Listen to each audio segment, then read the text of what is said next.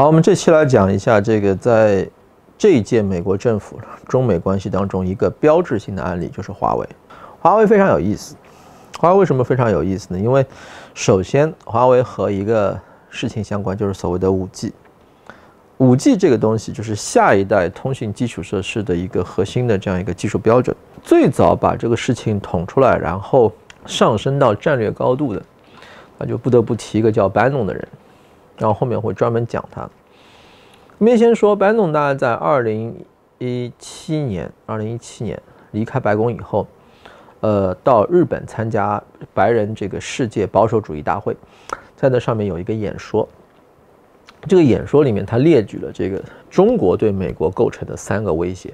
第一个就是中国制造二零二五，第二个就是一带一路，第三个就是五 G。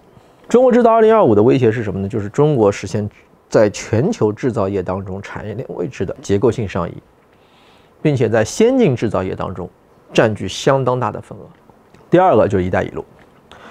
一带一路呢，班总有一个很有趣的视角，这视角是很多人讨论一带一路的时候。不太注意，就是说，我们都看过“一带一路”的那个、那、那、那个路线，两个路线。班农指出一个点，就可能是基于巧合，或者说可能基于什么原因。西方历史上出过三个非常著名的地缘政治理论。第一个，麦金德的路权论。如果对地缘政治有涉猎的人都知道路权论的三段论嘛，就谁要控制世界，谁就必须控制欧亚大陆。如果要控制欧亚大陆，必须控制这个心脏地带。就是你如果控制了心脏地带，你就能控制全世界。这个心脏地带是什么呢？是以中亚腹地为标志的世界岛。世界岛是欧亚大陆被称之为世界之岛。然后控制了这个心脏地带，你就能控制整个欧亚大陆。然后我们看“一带一路”的陆上丝绸之路地带计划，它穿过的区域，它完整的穿过了整个中亚区。然后呢，第二个呢是马汉的海权论。马汉的海权论就是谁要控制世界，谁要控制海洋。怎么控制海洋呢？有一系列海上至关重要的那些要道口。啊，美后来美国海军在这个基础上全球列出了十几个这个战略关隘口，然后第三个是 Speckman，Speckman 他叫边缘地带理论。边缘地带讲什么？他就是说，在地缘政治上，对世界岛这个区域来说，关键的是世界岛边缘的破碎地带。这个边缘地带就是那个岛链的那个概念，它如果控制住了以后，它可以由海向陆对这个大陆力量形成一个有效的包夹跟支援。那么我们看一下海上丝绸之路。海上丝绸之路这条线一画呢，你就发现，嗯，这个好像斯派克曼跟马汉这个相关的这些重要的战略区，好像也被我们搞定了。那尽管我们现在已经不使用“一带一路”战略这个提法，我们只用讲“一带一路”倡议，并且我们坚持认为“一带一路”是对外拓展经济影响，然后帮助相关国家进行基础设施建设，然后实现双赢的这么一套倡议。但是在像白龙这样的脑子里面充满着顽固的冷战式的古典地缘政治思维的人看来，这就是中国的地缘政治扩张战略。那你想，你有了制造业，然后你又搞地缘政治扩张。然后第三个，你在五 G 领域，五 G 是什么？五 G 是下一代通信基础设施的基础标准。我们正在经历信息技术的革命，信息技术革命最核心的通信信息技术，不仅技术上的标准，而且事实上的整个产业居然被一家中国企业实质性的全部垄断，更不要说整个中国在这方面爆发出的巨大的生机跟活力。那在班东看来，这就是一个灾难性的后果，这个灾难性的后果就是中方首先会取得科技上的领先优势，然后它会变成一个制造业的大国，然后变成一个制造业的大国之后，中国的经济，尤其是实体经济会取得无与伦比的活力，而这种活力会非常自然地进入并且投射到金融领域，而在金融领域，这就意味着用他的原话来说，就是五年、七年或者八年以后，西方国家就不再可能把中国。从全球资本市场当中剥离出去，而最后，人民币或者是叫做元，就取代美元成为石油、啊汽油和其他石油货币的结算货币，也就是美国的霸权的核心，美国的货币霸权结构性的被替代。理解了这种认知和判断，你就能明白另外一件事儿，就是美国人对华为为什么过不去。被美国人在五 G 产业这个上面盯上的有两家企业，一家企业，美国把它往实体清单里面一放，基本上一个星期就崩了，一个星期就崩了。呃，美国人很开心，觉得你看你最出挑的企业，美国精准的点穴式攻击，我这儿一戳，啊，就像碰到你胳膊上的麻筋一样，你半边身体就不行了。我轻轻巧巧的就拿到了一个非常大的优势。那么行啊，对华为也来吧，嘣碰了一下，诶，没反应。为什么没反应呢？因为华为在若干年以前就实行了非常著名的备胎计划。这个备胎计划，有人讲他说就理解为是海思芯片，其实不是。备胎计划真正的威力在于，华为准备了一条备用供应链，就是针对每一个关键性的供应节点，好比说，在现有供应节点上，这个节点，美国供应商百分之七十，非美供应商百分之三十，但是他同时准备了另外一个方案，在那套方案里面，非美供应商百分之七十，美国供应商百分之三十。然后呢，他把这条链子藏在自己的保险柜里，每年花钱更新一次，不用。他们的老总，据我所知，最早提出这个方案的时候，华为内部的争议是非常大的。为什么？因为他们老总让他们做这套方案的理由是：假设有一天，华为目前从美国能够获得的所有东西突然间都不能获得了，华为继续怎么生存下去？有人觉得你这是不是 年纪大了？这个 老先生不太适应这个啊全球化啊。我们生产在这样一个全球化的时代，美国作为全球化的始作俑者、倡导者，美国在全球化中获得了这么高的收益，他突然间不卖东西给我们，这怎么可能嘛？然后呢，据我所知，当时的争论大概是这样的：，就是老先生到最后就说，反正你别管这事情为什么会发生。反正我告诉你，这事儿发生了，你咋办吧？他们就砸了一个 B 计划出来。这个 B 计划的钱是从哪里来的呢？据说是从华为每年分红的钱里面抠出来的。就不砸 B 计划，他每年能多分不少，因为华为每年年终有分红的。他砸了 B 计划以后，他账面上其实是很难看的，他把相当一部分收入给弄没了。然后呢，放哪儿放哪儿放哪儿放哪儿。放到后来，大家都烦了，觉得，请你看，你说狼要来了吧，没来；狼要来了吧，没来。结果呢，你钱呢放着放着放着，这些钱你发了多好，结果他来了，所有人瞬间都觉得华为这个决策英明神武。但是现在大家觉得华为这个决策英明神武，是华为支付了巨大的代价硬撑下来的。所以后来华为。有那张非常著名的照片嘛？那架被打得浑身是伤的战斗机仍然继续的飞行下去，其实就这意思。然后呢，美国对华为的这个压制，经历了几个阶段。第一个阶段呢，先想在技术上卡一下，实体清单阶段。实体清单阶段呢，想基本上一棒子把打死的。然后后来没想到华为，一方面它有一个备胎计划。这个导致它事实上作为一个产业没有能够被一下子打垮。第二个更加重要的是，记不记得各位，当时曾经有那么几天，有很多协会，就行业协会或者是技术标准组织，一窝蜂的冲出来，这个响应美国政府的号召，把华为这个会员资格从里面踢出去。什么 SD 存储啦，什么蓝牙啦，还有 I Triple E 下面的那个某一个什么什么审稿机构了，乱七八糟的那些，呃，那些协会出来这么搞的时候呢，中国互联网上还一阵狂欢，一帮这个对美国持跪拜态度的这个精美就出来说，你看不行了吧？啊啊，我来跟你讲啊，那个那个会议有多牛啊？比如说 SD 那个存储协会吧，啊，华为上面就不能用 SD 了，啊，那不能有存储器了，啊，你怎么弄啊？啊，不行了吧？啊，那可你看蓝牙啊，以后华为就不能用蓝牙了，你愿意买一个没有蓝牙的手机吗？啊，巴拉巴拉巴拉说，结果七十二小时之内怎么请出去的又怎么回来了？为什么呢？因为华为手上有技术，有专利标准，这些协会里面最前沿的、最先进性的和产业最结合、最紧密的、数量最多的那批专利就掌握在华为手上，甚至到了什么程度？有些协会离开了华为就可以不用开了。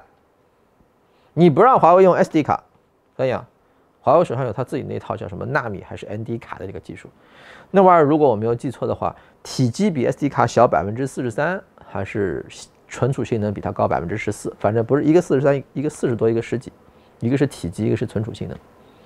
最先进的下一代存储技术。你离开了它，华为很乐意另外搞一套技术标准，另外组一个协会，然后然后你 SD 卡就可以洗洗睡了。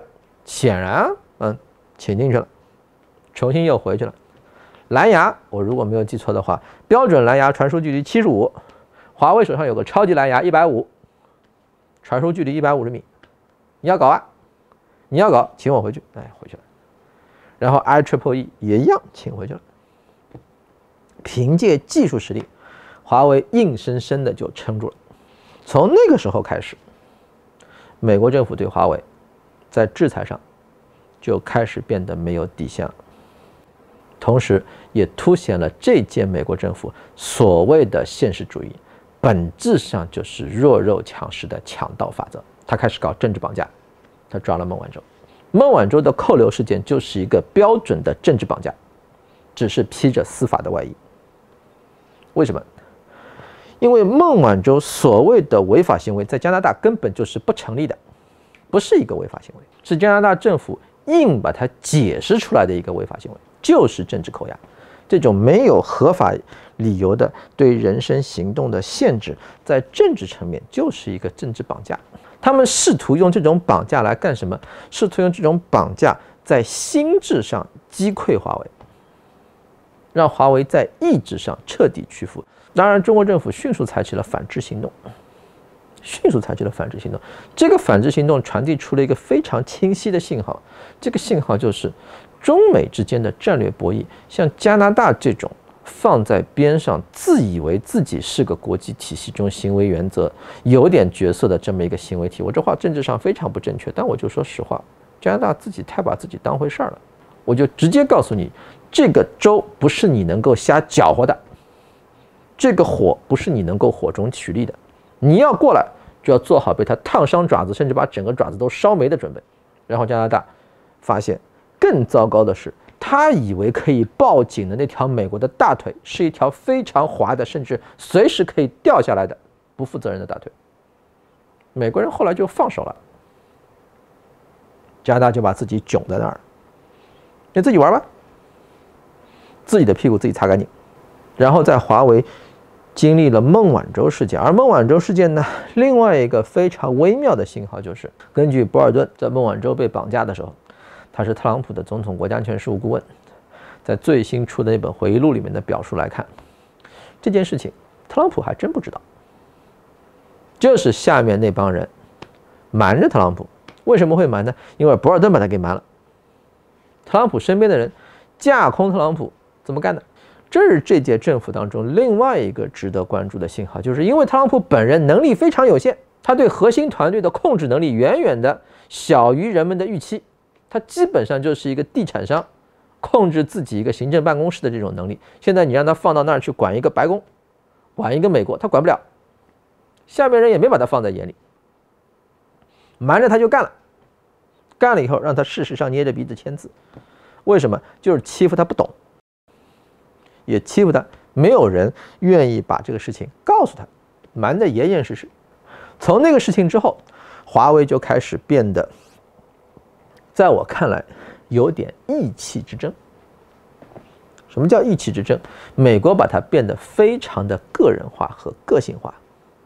有些美国政客以那个胖子国务卿蓬佩奥为典型代表，就跟华为较上劲儿。现在蓬佩奥。为代表的那部分美国政客对华为的态度是什么？哎，我还就不信了，我就收拾不了你吗？我就要硬跟你搞。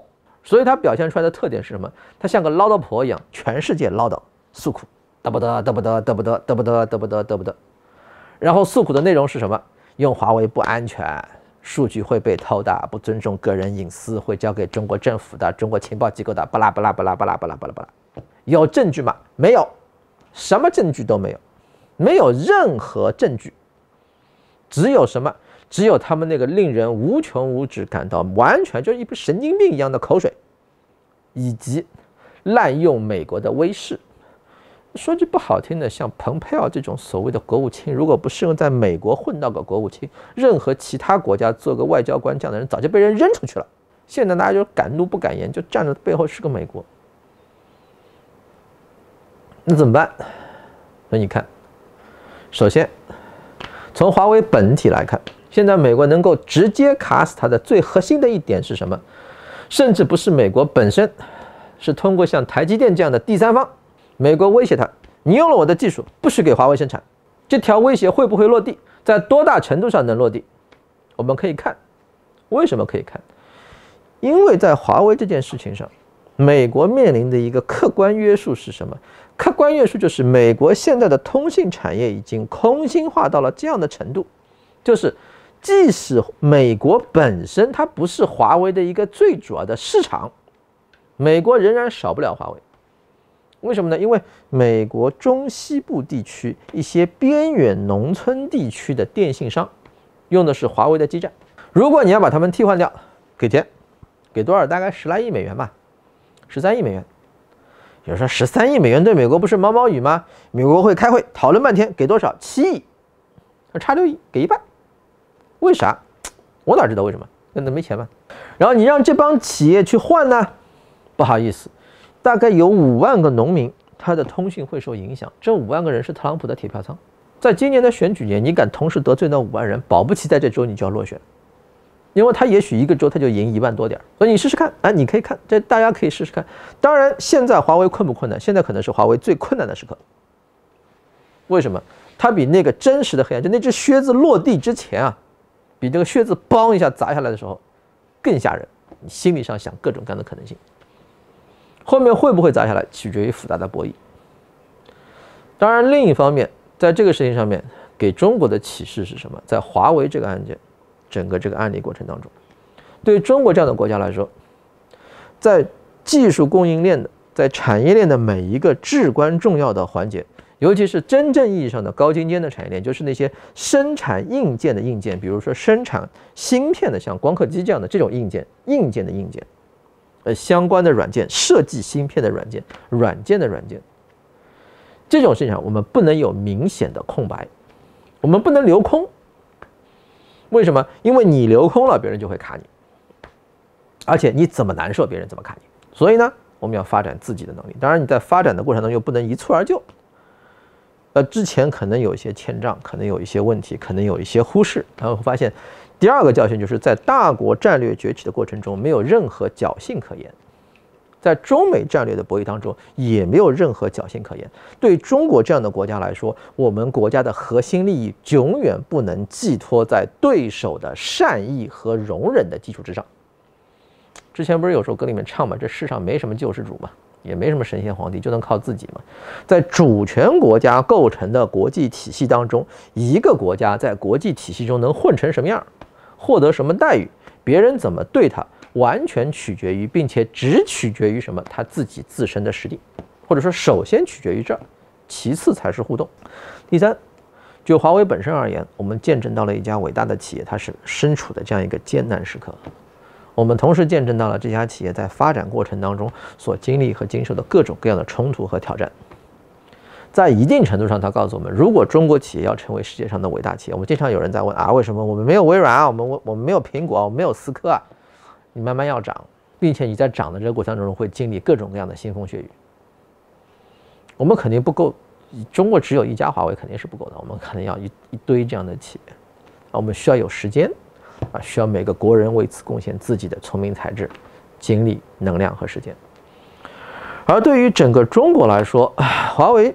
在一定程度上，就是中国成长的一个缩影。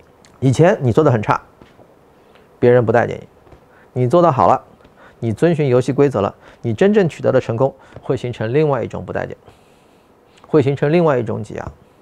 但是归根结底，你顺着这条让自己做强做大，既拥抱开放又坚持自主的道路走下去，最终的胜利一定是属属于自己的。